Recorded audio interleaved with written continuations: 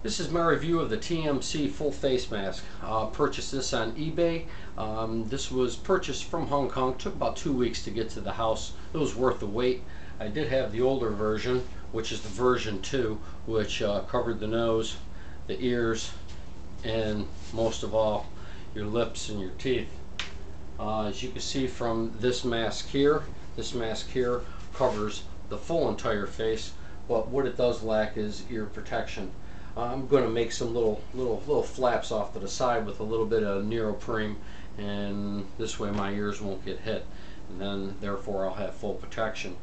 I do recommend wearing sunglasses underneath uh, for the purpose of if they're shooting BBs at you and you might get some fragments you don't want them getting into your eyes so other than that that would be it and the view out of it it's more like looking through a screen door uh, something to get used to, but I have a feeling once you do get it and you do get used to it, you'll have no problem. Uh, breathing, you don't have to worry about nothing getting fogged up. Uh, you can take the chance of not wearing glasses, but that's totally up to you. Um, I, I, wear them, and they don't fog up because of the airflow that actually comes through the mask. So, other than that, I'll give you a little close-up or little close-up view. You see it straps around goes to the back.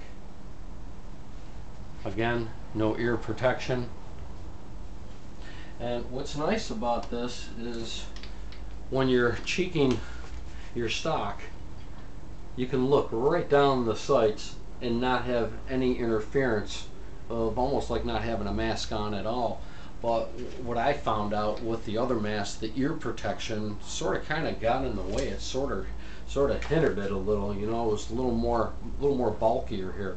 Uh, the mesh is is flexible to a degree. It is it is pretty stiff, so you know you're able to mold it a little bit better to your to different types of uh, contoured faces. But uh, mine, I just had to stretch it out just a little bit so it would fit and not actually touch my nose. And, and other than that, that's pretty much all I had to do. I did do a test uh, fire on it, and I'll show you the distance. The distance was right about here. And this is my KWA SR10, and it's shooting about 396. And from that distance, I'll get a close-up what you're going to notice is nothing. No dents, no scratches, no nothing. Um, I pumped probably around 15, 20 shots into it and still it's like when I took it out of the box. Definitely worth the money. I'll put the link right here and uh, you know give it a shot. For the money you can't beat it. So again, shoot them between the eyes. See ya.